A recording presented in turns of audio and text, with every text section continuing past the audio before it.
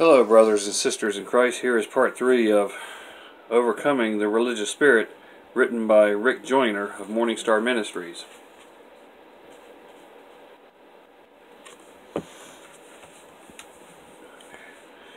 And continuing,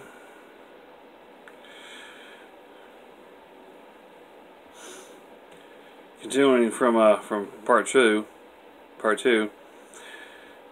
That is why the Lord even gave Jezebel time to repent. Said in Revelation chapter 2, verse 20 through 21. The biblical Jezebel was the wife of King Ahab and a very religious woman, but she was given to false religion. False religion. The Lord gave her time to repent because the roots of this spirit go so deep that time is required to fully repent and be delivered from it.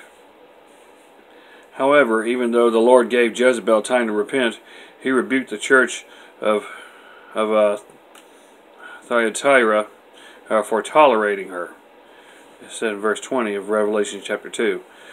We can be patient with people who have religious spirits, but we must not tolerate their ministry in our midst while we are waiting. If this spirit is not confronted quickly, it will do more damage to the to the church our ministries, our families, and our lives than possibly any other assault that we can suffer. Hmm.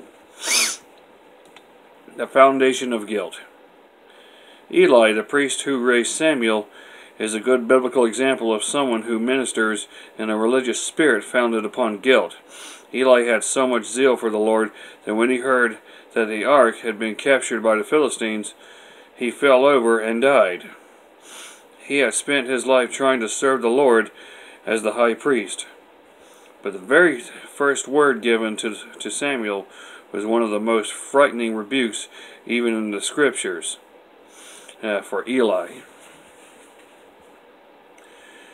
Uh, for I have told him that I am about to judge his house forever for the iniquity which he knew, because his sons brought a curse on themselves, and he did not rebuke them.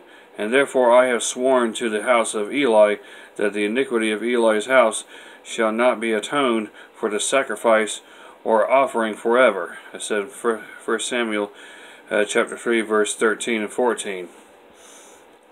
Eli's zeal uh, for, uh, for the Lord was based on sacrifices and offerings intended to compensate for, this irrespons- for his irresponsibility as a father. Guilt in our lives can stir us on to great zeal for the Lord, which usually results in the use of our sacrifices and offerings as an attempt to atone for our families. This is an affront to the cross, which alone can atone for our guilt. Oh, it's one of my cats. Such zeal will never be acceptable uh, to the Lord, even if we can make sacrifices forever. We should note here that the Lord did not say that Eli's sin uh, cannot be forgiven. He just said that Eli's attempts to atone for sin by sacrifice and offering would never atone for it. There are multitudes of men and women whose zeal for the Lord is likewise based on an attempt to atone for sin, failure, or irresponsibility in other areas of their lives. But all the sacrifices in the world will not atone for even our smallest failure. Even the attempt to, to try is an insult to the cross of Jesus, uh, which alone is an acceptable sacrifice for sin. The attempt to gain God's approval by our own sacrifice opens the door wide for a religious spirit. Because our service is not based on the blood of Jesus and power of the cross, but on an attempt to make our own atonement for sin. This does not imply that we should do, not do things to please the Lord, but we must keep our motive to be pleasing and the Lord for His joy, not for our acceptance. Once again, this does not imply that we should not do things to please the Lord, but we must keep as our motive to be pleasing the Lord for His joy, not our acceptance. One is God centered, the other is self centered. and that of the most that and that of the most destructive kind, an attempt to circumvent the cross. Hmm.